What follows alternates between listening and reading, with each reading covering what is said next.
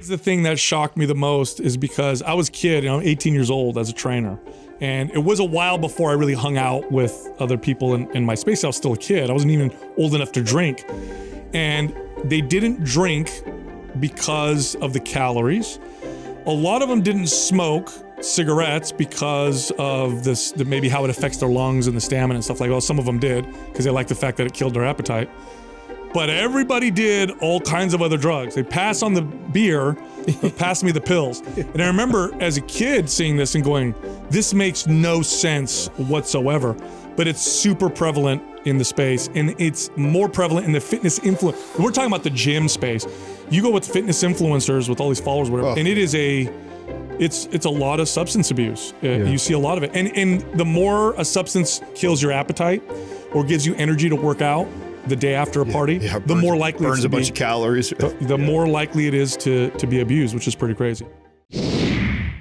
Believe it or not, some of the most unhealthy people you will ever find are fitness influencer. It's totally true. We're going to talk today about the seven reasons why your favorite fitness influencer is probably super unhealthy. Did you ask? uh, Shocking. did you ask Andrew to put a, a warning on this one? Why? Oh, you just know that you're gonna get you're gonna ruffle so many feathers talking about this, dude. I don't think so, though. You know what? Maybe Oh wow. They'll Let's think take it's the- they'll let's think take it's a little other people side we're bet. talking about. Justin hit the Yeah. nail on the You head. know, you think that? They're going to be watching this. yeah, I know. How That- much you want to bet? How many people? How many fitness That's influencers not how are going to? people They're going to work. repost it. Oh, yeah, this is true. exactly.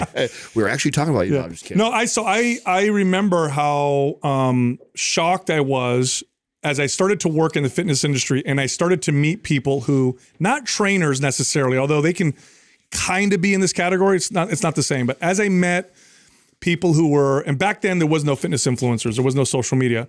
But you'd meet bodybuilders, competitors, physique type people who would present their bodies on stage or whatever. The more of them I met, the more I realized just how unhealthy that space was. And I've said this before. Um, I've never seen as many eating disorders and body dysmorphia and stuff like that that I've seen in the fitness industry at large. The fitness influencer industry is even worse. It's far worse. Um, you run into some of the most unhealthy people. The challenge, though, is they tend to present themselves, or that's what they do, right? They present themselves as being these epitomes of health. Um, and it's just really, really bad kind of sleight of hand, right? It's a big lie. And so it's good to talk about this because um, a, lot, they, a lot of people follow these people, and a lot of people think that um, that their advice is great and that these are the people that I should emulate if I want to be super healthy. Um, not true.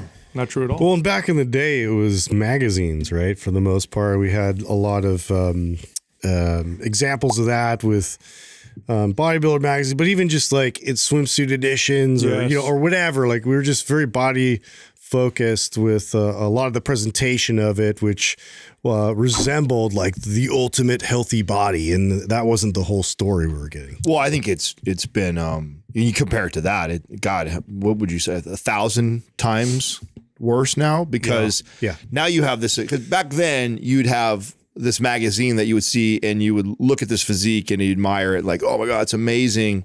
And oh, that's my favorite bodybuilder, or that's my favorite swimsuit model, or whatever. But you really didn't know them. They weren't really communicating with you and giving you advice or telling you what to do. It's Now just they're like a personal relationship. yeah, now with social media, this now empowers all these people that are are thrusted into an authority position for uh, you know none other than maybe the way they look, and now you give them this immediate platform to you know disseminate information around health and fitness to potentially millions of people, and so uh, and boy when I when I had the opportunity to to go through the the bodybuilding circuit, uh, this I kind of knew this already. but I bet it still shocked you. It oh, it shocked the shit out of me because I, I I didn't think that it would be to the level that I that I saw. Of course, I like like you guys. I mean, when we started the podcast eight years ago, we led from a place of vulnerability. We shared our own insecurities and the things that drove us into fitness and how we worked through that and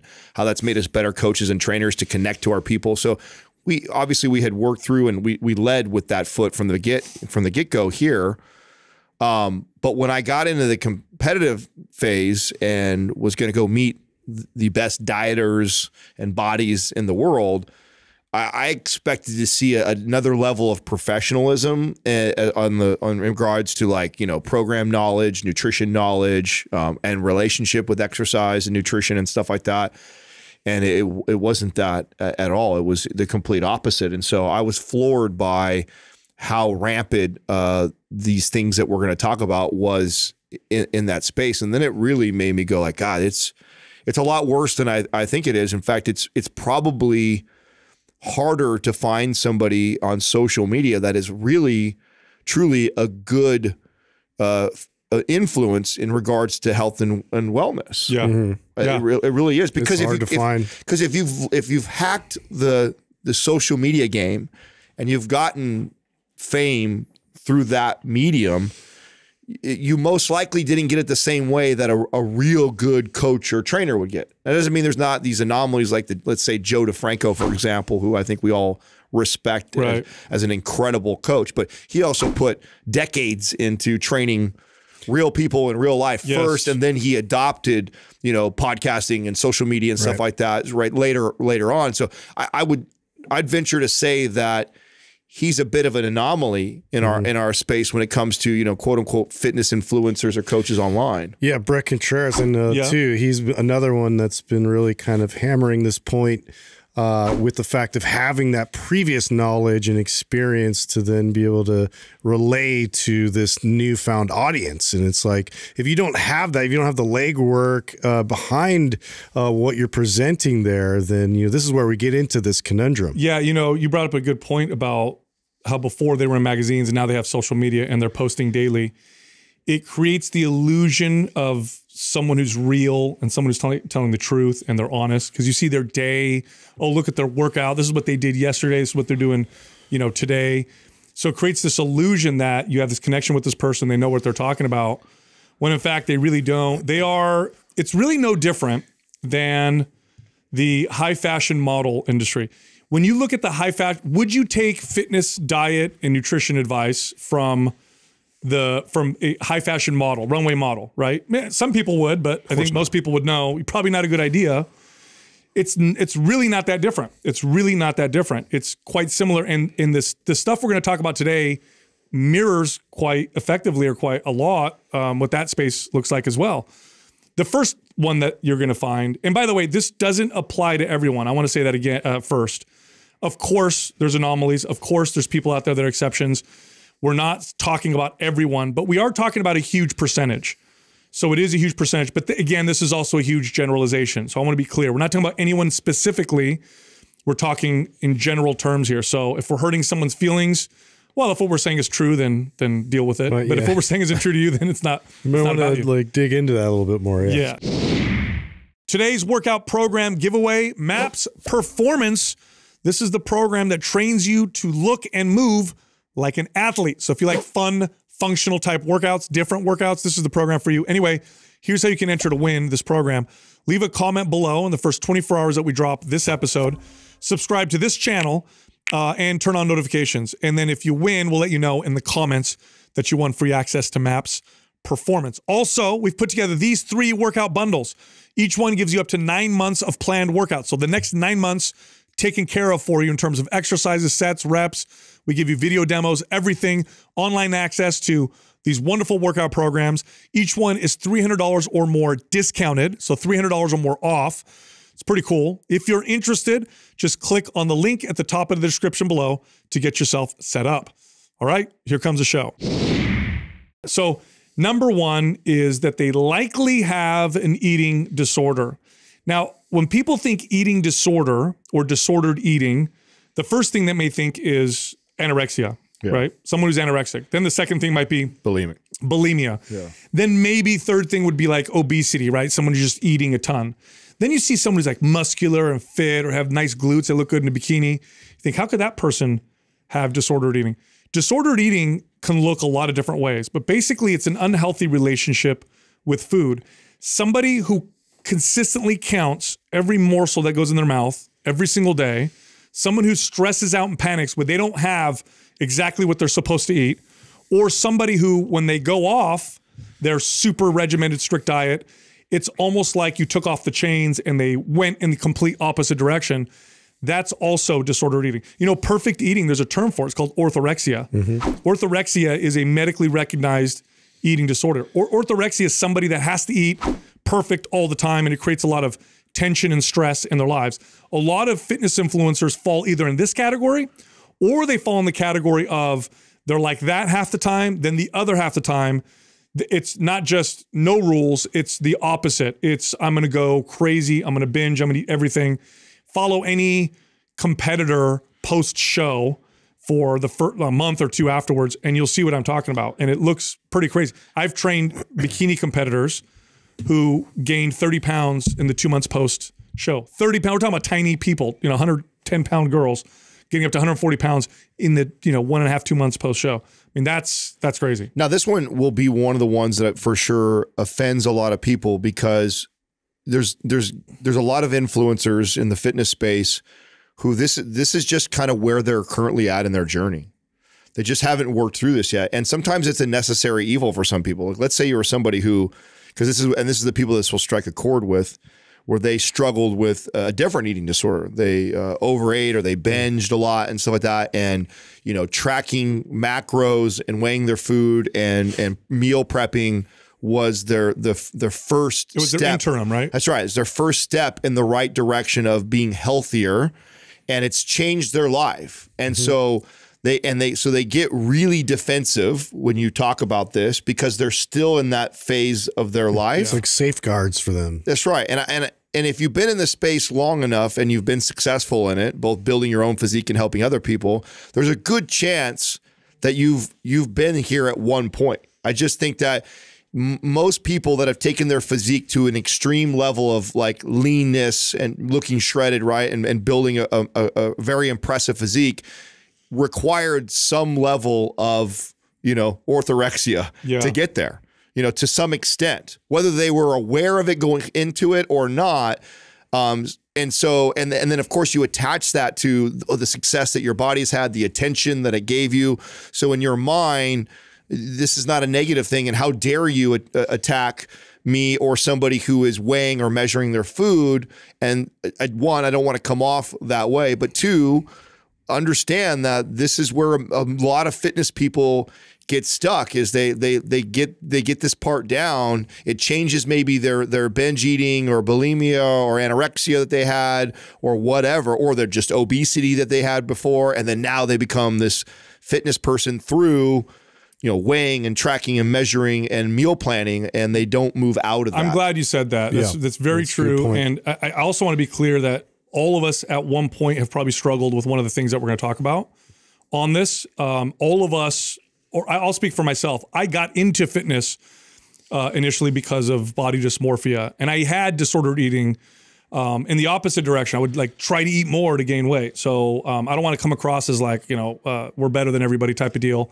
Um, we just train people for a long time and just through that older process. You're just old Older, and you train a lot of time. people. If- Just seen a lot. That's when all. you train people for decades and you're not trying to get fame and you know clicks and it's not this glamorous make tons of money job and you do it for the passion and love of it you're forced to grow and learn you're forced you're not going to be a good trainer for 25 years unless you you work through some of the stuff but i, I i'm going to differentiate counting macros in a norm in a healthy way and counting macros in a disordered unhealthy way if you're a counting macros per- person and it str- it really creates a lot of discomfort and stress in you when you know you can't eat according to your macros or you're going to go out to eat or you're going to go off for a week and it creates lots of like Stress. turmoil within you Yeah.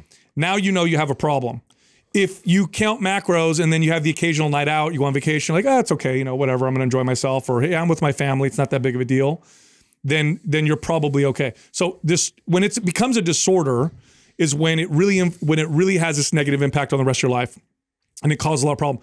Healthy eating enhances your life. It improves the quality of your life, all of it, not just the way you look. Disordered eating takes away from your life. So that's the big difference. I also think another red flag is if you get defensive when we talk about something like this. yeah. Because that just shows that you identify with that way of eating so much that somebody talking about it as it could be an unhealthy thing triggers you to defend yourself in that situation, that's also a red flag that that's that potentially is an issue for you. If you again, we're not talking to any one specific person. We're talking about something that's very common in our space, and much of much, most of us have somewhat uh, have some sort of relationship with going through that ourselves. So understand that if you get triggered from someone talking about that, you may well be one of those people that are still in that phase Yeah. of your journey. Now, next would be that they that many of them abuse exercise. All right, what does that mean? Like, how do you abuse exercise? Anything can be abused or used like a drug, including exercise. And a lot of people in this particular category work out to the point where it's not just not effective; it's beating them up, it's beating themselves up. It's a way of distracting themselves. It's a punishment. it's a punishment. And a lot of these fitness influencers look as good as they do in spite of the fact that they do this. You know, you'll meet somebody like this and they'll be like these really fit, lean looking people. You'll look at their workouts and you'll realize, like, man, they have such incredible ability to withstand punishment that they actually can still look good while beating themselves up as much as they do. Which, by the way, judging a fitness influencer's knowledge or health by the way that they look is not very effective. Now you can do it in extreme cases, like if somebody is obese, yeah, probably not so great, or if somebody's like so lean they look like they're gonna die, not so great. But for, oftentimes you'll have two people that look both fit and healthy. One of them is not to have great health. And remember, health is not just physical performance; it's also mental health, psychological health, gut health. You know, all those hormonal health, all those other things. But a lot of them abuse exercise. They they use the gym as a drug. They go to the distract. They beat themselves up. They beat themselves up harder when they go off their diet. They beat themselves up harder when they feel tired Yes. uh, or stressed. It it literally becomes a tool of self-flagellation. Yeah, well, one thing, like we're talking about red flags, like one thing I noticed, and I'd get occasional clients that would want to go so intense that they would vomit at the end of their workouts. And this is something that th- they were actually coming in desiring that outcome. Uh, and, you know, on top of that, too, I think. You, there's sort of a, a, process when you start like equating calories with your exercise. So calorie burnage. I think that that's a slippery slope where people will start kind of equating last night's pizza to be this like 500, you know, thousand calorie burn thing I have to like uh, get to the first thing in the morning to to to just beat myself and work it off. Uh, and I've seen this happen over and over and over again. So it's something that always tends to come up that I have to kind of, you know, talk them through and, and get them out of that mindset. So these first two are, are one of the two most common things that I saw in the the bodybuilding community. And to your point you're making right now, Justin, is one of the things that I recognized pretty quickly with the people that had success in in this category were uh, they just had an ungodly amount of discipline and ability to sacrifice. Like there was, it it's me- admirable. it is. It is a bit admirable, and and and commend them their ability to do that. And that was more common than them really understanding nutrition and program design. They just had this resiliency and ability to hammer themselves and train and n- never no day. I mean, that's where the hashtag no days off Yeah. came from is the mentality that m- many of these trainers and competitors would have towards working out is just that they they were able to consistently and I know the saying goes that you can't outwork a bad diet. Now these people aren't necessarily having a bad diet because they're for the most part probably prepping and counting, but they most certainly play that game with the the calories and, and budget of what they can and can't eat. And it's something they constantly think about and obsess about all the time, no matter where they're at, uh, eating wise, or who they're with. That's constantly going. And I, you know, and I felt a bit of this myself when I was in that space. And it's a bit of a necessary evil if you're going to win. Like if I'm going to be one of the best and I'm competing against everybody else who's dieting and training the same way, I better be a bit obsessive about Well, this. and here's where we kind of have to be distinctively clear with sport and health and, and how those aren't always in alignment. Yeah, this is a fitness influencer. Yeah, right? so that's a sport you're describing, right? And You're that- and doing this is- necessary to get there. Same, and I that's my background. I had to be able to um, get out of that same kind of mindset because I always did admire the discipline of people that would work the extra bit and always do more than everybody else in the gym. Uh, however, like when I started to consider my own health and how it was deteriorating, uh, I had to consider a whole new way to do it. Yeah. Yeah, and and uh, at that level is not healthy anyway. It's not. You you you don't look at professional athletes or bodybuilders as uh, people who can tell you how to be healthy or fit forever or long term. There's a terrible uh, segments of the population for that. They know how to win, they know how to compete, but but when it comes to influencing others on fitness and health, uh, not very healthy. And the exercise abuse part is a big part of it. The next one is that you'll often in this category of people often run into unhealthy narcissists. It's a very and this sounds obvious, right? You're putting your body out there. Look at me. I'm so whatever. I'm so great. But you know, there's a certain level of narcissism that's required to put yourself out there to do a podcast or to start a business, have people working for you. You have to, at some level, think that you can do things that other people can't do. Narcissism gets unhealthy when the center, the universe revolves around you. Okay, if you've ever hanging out, if you've ever hung out with a fitness influencer with lots of followers, Go hang out with them for a day, and you start to realize that No the, thanks. they, the, they literally feel everything revolves to the point where I've met, I've met fitness influencers or bodybuilders who will date a person, and oftentimes narcissists will date people that they, they're also unhealthy and they tend to gravitate towards them. They'll have spouses or girlfriends or boyfriends that do everything for them. Yeah. Prep all their meals, take care of everything for them. Take all the pictures, Do all their stuff for- them in every situation. wild. It's wild. I had a, I knew a guy that that competed. He didn't even make any money. He wasn't make his girlfriend made all the money, supported him, made all his meals, took care of him, everything. It was the most narcissistic, abusive relationship I'd ever seen. And she was in there as well. And you see this uh, quite a bit. And they're not very. I mean, taking advice from people like this, not a good idea. Yeah, you guys ever want to get a good laugh? You know, show up to a, a an event or something where there's ten or so, you know, competitors that are all you know fitness influencers on social media, and watch them all take a picture together. It's the funniest thing ever to, Oh. wa- to watch. The, Isn't that funny how the quickly they hit their pose? the level of narcissism of like critiquing everyone and taking turns is like it turned like a, a quick little photo of hey we did this turns into a 45 minutes of getting the right angle the right lighting the, like I look good you don't look good that way can't use this one I was like oh my Dude, god we've been in this is great. situations like that because we'll take a picture. I don't. Oh, take a so picture. cringe, dude. It is, Whatever. uh, it's but we've done that, right? We've met some of them. Yeah, we'll this take a is picture. so It's you know weird. You really said weird. something I think is a really good point though um, that makes this challenging because to put yourself out there to um, share you know photos online and to to go out with the intent that I'm going to build a network of people through social media or I'm going to start a podcast does require some level of narcissism Yeah. And and you know a, a- a therapist would tell you that there's, There's a healthy there's- level. there is a healthy level of narcissism and I I'd think like to call it self belief, but yeah, it is narcissism. it, yeah, I, right. I mean, that's how I like to say I mean, it too. Yeah. we learned this from Yeah. that. I like that version. We, better. we learned this from that psychologist we had on the show years ago, early on. She did that test with us, and she said, "Oh, a certain level of narcissism, She's like, all of you are narcissistic. yeah, is, Like, is, is healthy, and you'll find this in entrepreneurs, people who start businesses and stuff like that. But it definitely can tip into the unhealthy. Well, it, yeah, and my point I was making is, so you start this, you go out on this journey, and then and you you have this amazing physique, and so you're getting this flood.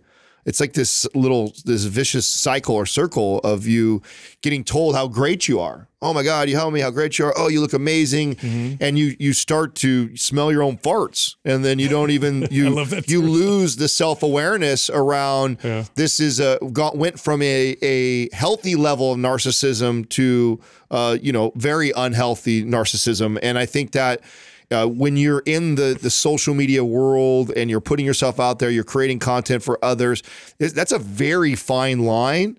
That I mean, I, and off off air, uh, the four of us talk about this all the time and and keep each other in check because even as quote unquote self aware. I like to think all of us are, it's still it's easily can suck you in. And so if you're not somebody who's already like on the watch for that, real easy to get sucked in that. And I think a, Yes. a lot of these guys and girls definitely fall into this. don't you know? Not to go off into a too much you of a need really good friends. Thank you. I was just going to say that, not to go off into too much of a tangent on this, but if you, if the only, if everybody around you is always telling you how awesome you are, Mm-hmm. you're in a bubble Yeah. You, you need to find other people or put yourself in other places where people disagree with you, challenge you, and don't tell you you're so great all the time um, because well, you're never going to grow, you'll never change, and you might start believing it. That's actually terrible. You start to believe you're the most awesome thing on earth. Um, that's not good at all. And a lot of the, a lot of these people in the space definitely think they're the best things on earth. Yeah. And we we meet them because of our podcast. And um, I used to get, I used to be a little bit surprised by it because I'm like, God, people like that really exist. It doesn't surprise me anymore. Now I mean, I'm like, okay, Yeah. I know what to It's expect. kind of the norm. Yeah. Next is they are probably, or many of them are body obsessed. Right. This goes along with kind of you know types of body dysmorphia. Body obsessed is like, um, and you you see this as they start to age.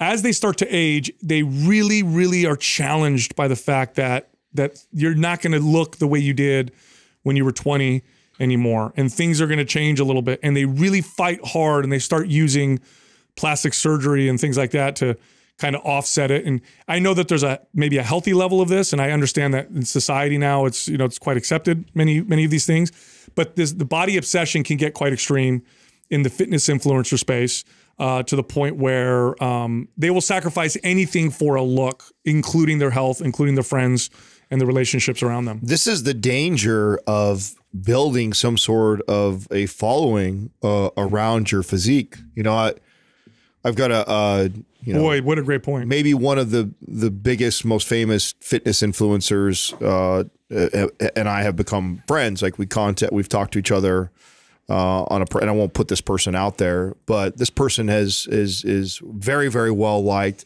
and his you know his presence online, he's always you know put his you know a lot of his stuff is with his shirt off and and he's always maintained this this great physique all the time.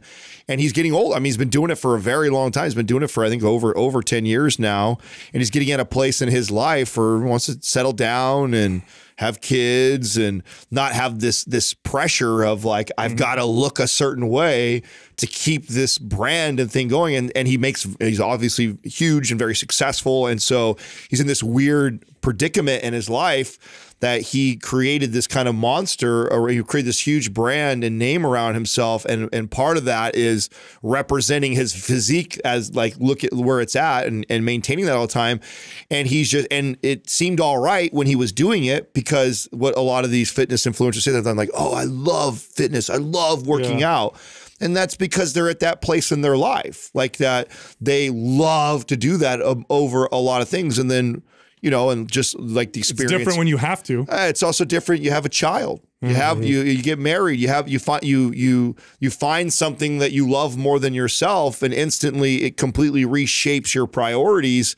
And this thing that was so natural as a priority for you, like oh yeah, I don't ever miss a workout. Oh, I never don't miss a meal. Like now it's shaken up because your priorities have shifted. Yet you have built this entire brand around the obsession around your body and you know, there's a lot, there's quite a few uh, famous Instagram and YouTubers that have built their, and I always, when I see a young one start it that way, when they're 20 something and they, they lean into the shirt off type of deal. You I'm like, automatically put a shelf life on your. Oh, right away. I see that. I'm like, oh man, you think it's good right now. But at one point, there's going to be a time in your life where you're going to want to eat a little extra calories and skip some workouts. And you're going to put yourself out there and you're going to, you're going to just hear so much criticism. And then you're going to fall. And then you fall in the trap of what is very common in the space is these fitness people will get in incredible good, incredibly good shape, pay for a photographer to take 500 photos of them, and then they drip them throughout the year, pretending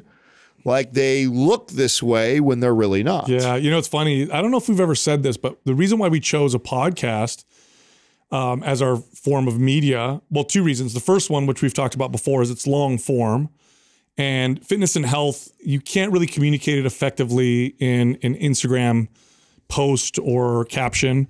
Um, you need long form discussion. We knew this as trainers. The second reason was because I got a body for audio. yeah, we didn't want. I mean, I remember talking about. I mean, at the time, Adam was competing. He was in peak shape, um, and I remember all of us talking about. It's like I don't want to like have to look like this or my authority is due to the way I look all the time. Because what's going to happen in 10 years, 20 years? We plan on building a business Yeah. and, and, and, and working in fitness and helping people for as long as we want.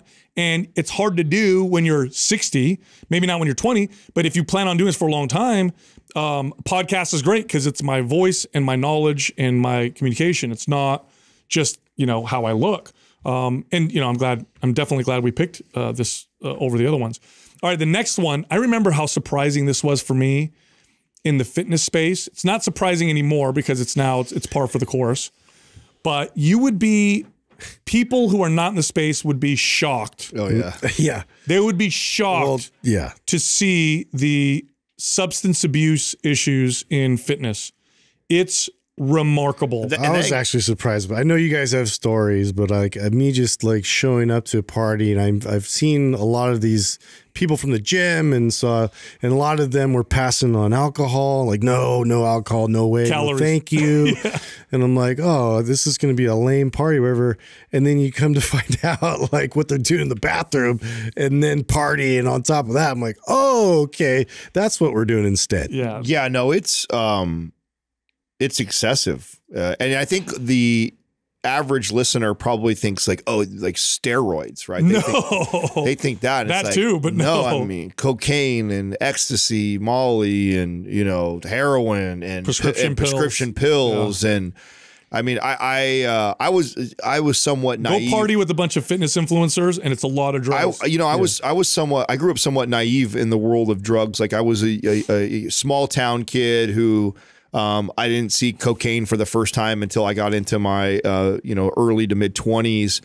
And it was, it was around the fitness community. Like I saw most of the drugs that I was exposed to was other health and fitness Isn't that wild? experts and Yeah. and they really do they really they they go so hard on the training and dieting and keeping themselves physically fit that they go they that one of their ways of binging isn't necessarily always on food and calories it's through other means that was the thing that shocked me the most, is because I was a kid, you know, I'm 18 years old as a trainer. And it was a while before I really hung out with other people in, in my space. I was still a kid. I wasn't even old enough to drink. And they didn't drink because of the calories. A lot of them didn't smoke cigarettes because of this, the, maybe how it affects their lungs and the stamina and stuff like that. Well, some of them did because they liked the fact that it killed their appetite. But everybody did all kinds of other drugs. They passed on the beer, but passed me the pills. And I remember as a kid seeing this and going, this makes no sense whatsoever. But it's super prevalent in the space and it's more prevalent in the fitness influence. We're talking about the gym space. You go with fitness influencers with all these followers, whatever, and it is a it's it's a lot of substance abuse. Uh, You see a lot of it, and and the more a substance kills your appetite or gives you energy to work out the day after a party, yeah, the burns- more likely burns a bunch be, of calories the, the more likely it is to to be abused, which is pretty crazy. All right, the next one is that um, they're just so not authentic. They are not really telling you the truth about themselves. They're preaching this health and wellness message when they are anything but. Um, they typically don't ex- talk to about talk to their their fans or whatever about their own challenges and struggles unless it's scripted as a part to as a, concentrated way of creating authenticity but these they're they're just not they're not real they're so fake and you know look there wasn't that long how long ago was it where that company shreds got in trouble for photoshopping all the photos About years six, ago. six seven years ago? I mean, that's one silly example of inauthenticity is the Photoshop photos and the changing how they look and the filters and the, now it's getting even crazier. Like Photoshop is so crazy now. Yeah, face tuning. AI is going to make it even more ridiculous. Um, you know, here's what I'm eating. That's not really what you're eating. You know, here's my workout is. I remember there was one one person we knew who would t- post his workouts and they were insane. Like that guy's a beast. How does he do all that? Then you meet his training partner. He's like, dude, he does like one third of that. He posts that. I work out with him. I'm his training partner. fake weights. Yes. I mean, dude, there's just like so much stuff that you're just like, why? You know, but they have to maintain this perception uh, from the outside that they're always awesome and they're always doing the right thing and the, like they're always leading with their best foot forward.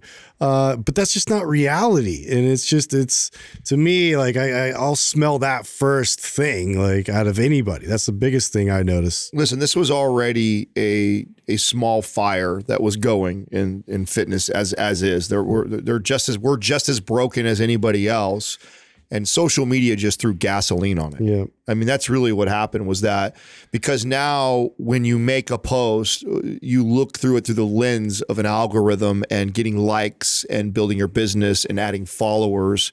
And that is one of the major drivers in what type of content do you decide to post and share about. And so, and and to Sal's point, like only when it fits that narrative do I post real stuff or or maybe manufactured real like me crying because of something or Right. oh my period look what happened like these things are are manufactured praise. post to Mm-hmm. to get my audience to perceive me as more authentic than what I really am because the reality is all the rest of the stuff that I'm constantly doing is to chase follows and likes and so it's unfortunate because it breeds that it, it, it really it rewards It that rewards it. rewards and they're it. not the only one. I mean, to be fair, it's pretty much the entire social media Yes. platform in general. Like that's what they promote. So, um, you Well, know, the, the average person is like this. The average person, Exactly. We They're not going to fall trapped like, to that. Yeah, they're not going to be like, "Oh, my husband and I are not getting along right now. We're getting fights." It's like, here we are on vacation, loving. Fa-.